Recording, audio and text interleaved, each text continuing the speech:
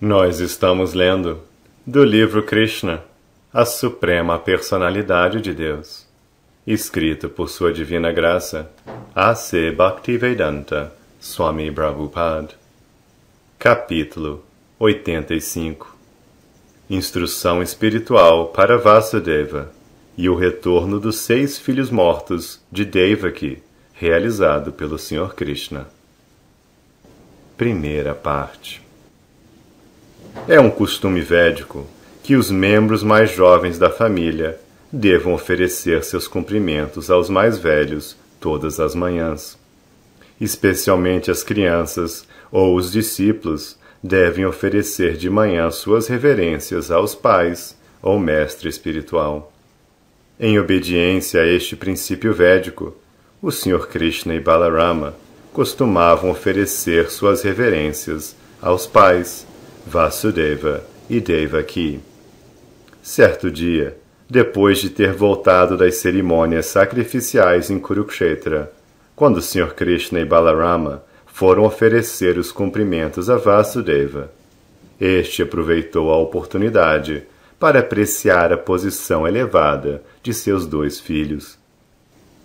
Vasudeva teve a oportunidade de entender a posição de Krishna e Balarama junto aos grandes sábios que tinham se reunido na arena de sacrifício. Além de ter ele ouvido dos sábios, em muitas ocasiões ele teve a experiência, de fato, que Krishna e Balarama não eram seres humanos comuns, porquanto eram muito extraordinários. Portanto, ele acreditou nas palavras dos sábios de que seus filhos Krishna e Balarama eram a suprema personalidade de Deus. Com fé firme em seus filhos, ele dirigiu-se a eles da seguinte forma: Meu querido Krishna, você é a suprema personalidade de Deus, Satchit Ananda Vigraha. E meu querido Balarama, você é Sankarsana, o mestre de todos os poderes místicos. Logo, eu entendi agora que vocês são eternos. Vocês dois são transcendentais a esta manifestação material e a sua causa, a Pessoa Suprema, Mahavishnu. Vocês são os controladores originais de tudo e o lugar de repouso desta manifestação cósmica. Vocês são o Criador e também os ingredientes criativos. Vocês são o mestre desta manifestação cósmica e, de fato, esta manifestação é unicamente criada para seus passatempos. As diferentes fases materiais que se manifestam desde o princípio até o final do cosmos, sob as diferentes fórmulas do tempo, também são seu eu, porque vocês são a causa e o efeito desta manifestação. Os dois aspectos deste mundo material o predominador e os predominados também são vocês, que são o controlador transcendental supremo que se encontra acima deles. Por conseguinte, vocês estão além da percepção de nossos sentidos, sendo a alma suprema, não nascida e imutável. Vocês não são afetados pelos seis tipos de transformações que acontecem no corpo material. As maravilhosas variedades deste mundo material também são criadas por vocês, que entraram como a superalma em todas elas, até o átomo. Vocês são a força vital de todas estas manifestações e também sua cognição suprema. Desta forma, vocês são o mantenedor de tudo a força vital, o princípio de vida em tudo, e a força criativa derivada não agem independentemente, mas dependem de vocês, a pessoa suprema, por trás destas forças. Sem sua vontade, elas não podem trabalhar. A energia material não tem cognição. Ela não pode agir independentemente, sem ser agitada por vocês porque a natureza material é dependente de vocês, As entidades vivas só podem tentar agir. No entanto, sem sua sanção, elas não podem executar coisa alguma ou alcançar os resultados que desejam. A energia original é só uma emanação sua. Meus queridos senhores, o brilho da lua, o calor do fogo, os raios do sol, o reluzir das estrelas e o raio elétrico são manifestações muito poderosas, bem como a gravidade das montanhas e a energia e fragrância da terra. Tudo são diferentes manifestações suas. O puro gosto da água, a própria água e a força vital que mantém toda a vida também são aspectos de suas onipotências. Meus queridos senhores, embora as forças dos sentidos, o poder mental do pensamento, a vontade, os sentimentos e a força, o movimento e crescimento do corpo pareçam ser executados através de diferentes movimentos dos ares dentro do corpo, eles são, em última análise, manifestações de sua energia. A vasta expansão do espaço exterior repousa em vocês. A vibração do céu, seu trovão, o som supremo, Omkara, e o arranjo das diferentes palavras para distinguir uma coisa da outra, são todas suas representações simbólicas.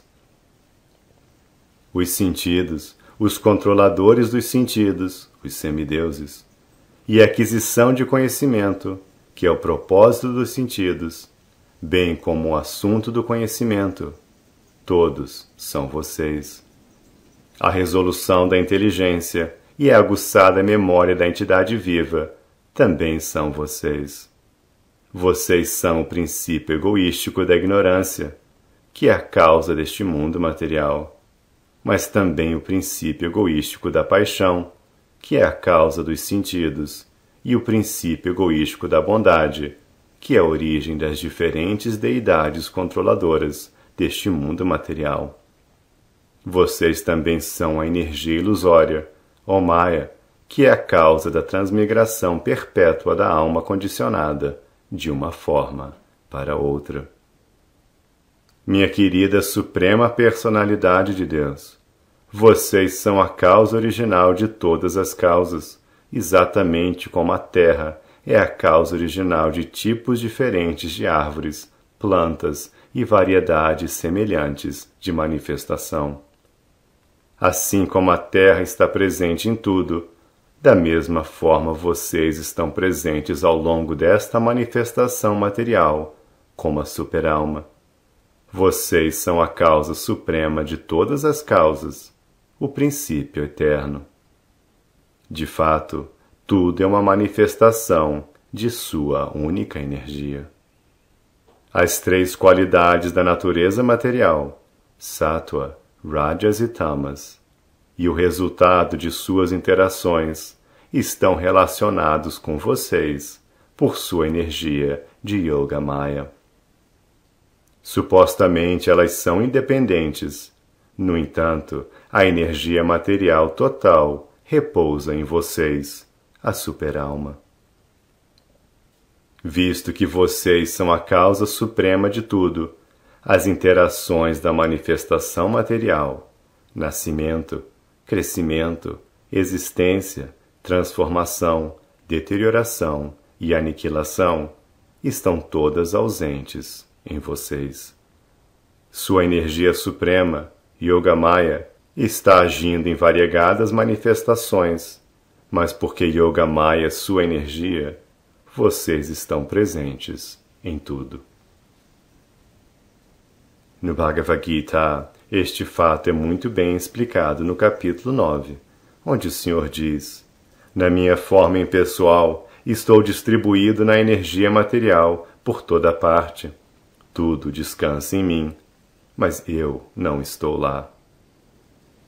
Esta mesma declaração é também dada por Vasudeva.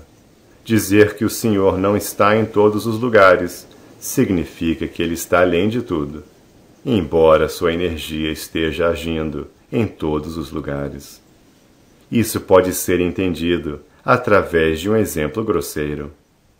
Num grande estabelecimento, a energia ou organização do chefe supremo está trabalhando em todas as partes do negócio. Mas isto não significa que o proprietário original esteja lá presente. Embora a presença do proprietário seja sentida pelos trabalhadores em todos os departamentos, esta presença física é apenas uma formalidade. De fato, sua energia age em toda parte. De igual modo, a onipresença da Suprema Personalidade de Deus é sentida na ação de suas energias. Então, a filosofia de inconcebível igualdade e diferença simultâneas do Senhor Supremo é confirmada em todos os lugares. O Senhor é um, mas suas energias são diversas. Vasudeva disse: Este mundo material é como um grande rio que flui, e suas ondas são os três modos materiais da natureza: bondade, paixão e ignorância.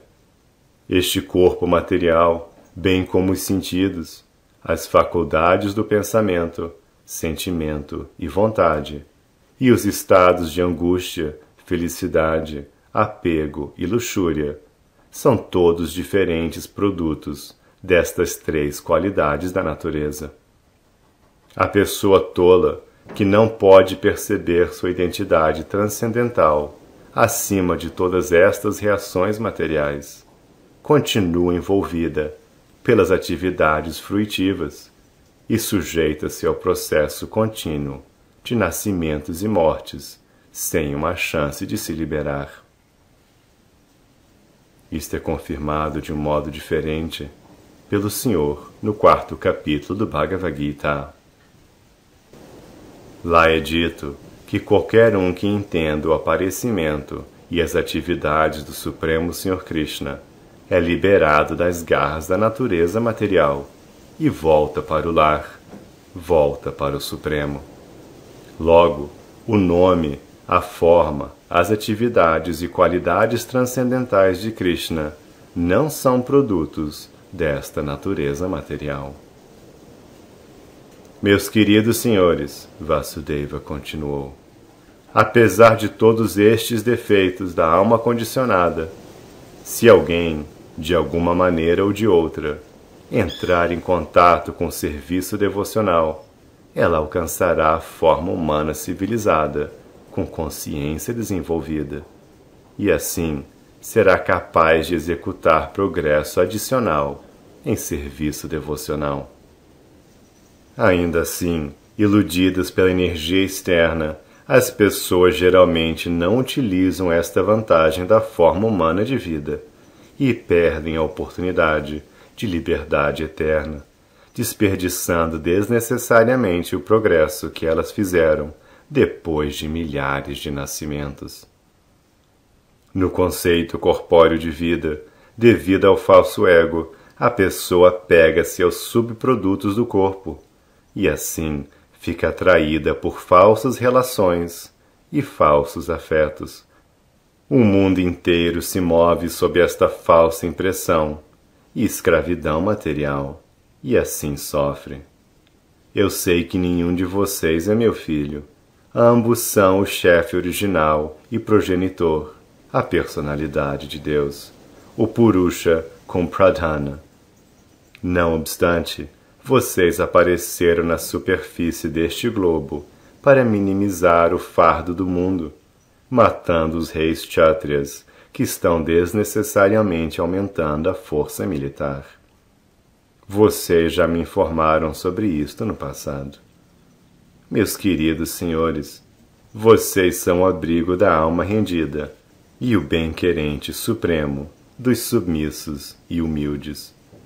Portanto, estou buscando o refúgio de seus pés de lótus, que podem dar a liberação do encarceramento da existência material. Por muito tempo, venho simplesmente considerando este corpo como eu e embora vocês sejam a suprema personalidade de Deus, eu os considerei meus filhos. Meu querido Senhor Krishna, no exato momento em que você apareceu primeiramente na prisão de Kamsa, você me informou que era a suprema personalidade de Deus e que tinha vindo para a proteção dos princípios da religião, como também para a destruição dos infiéis. Embora não nascido, você vem em cada milênio para executar sua missão. Meu querido Senhor, da mesma forma como aparecem e desaparecem muitas formas no céu, você aparece em muitas formas eternas e depois desaparece. Quem, portanto, pode entender seus passatempos ou o mistério de seu aparecimento e desaparecimento? Nosso único interesse deve ser glorificar sua grandeza suprema. Enquanto Vasudeva falava com seus filhos divinos desse modo, o Sr. Krishna e Balarama estavam sorrindo. Porque eles são muito afetuosos com seus devotos, eles aceitaram toda a avaliação de Vasudeva, numa atitude bondosa e sorridente. Em seguida, Krishna confirmou as declarações de Vasudeva da seguinte forma: Meu querido pai, não importa o que você diga, somos afinal de contas seus filhos. O que você disse sobre nós é certamente o entendimento do conhecimento espiritual altamente filosófico. Eu o aceito em toto, sem exceção. Vasudeva estava na perfeição completa da vida ao considerar o Sr. Krishna e Balarama como sendo seus filhos mas porque os sábios reunidos no lugar de peregrinação em Kurukshetra tinham descrito sobre o Senhor como a causa suprema de tudo, Vasudeva repetiu tudo, simplesmente devido ao amor dele por Krishna e Balarama. O Sr. Krishna não desejava interferir na sua relação com Vasudeva como pai e filho.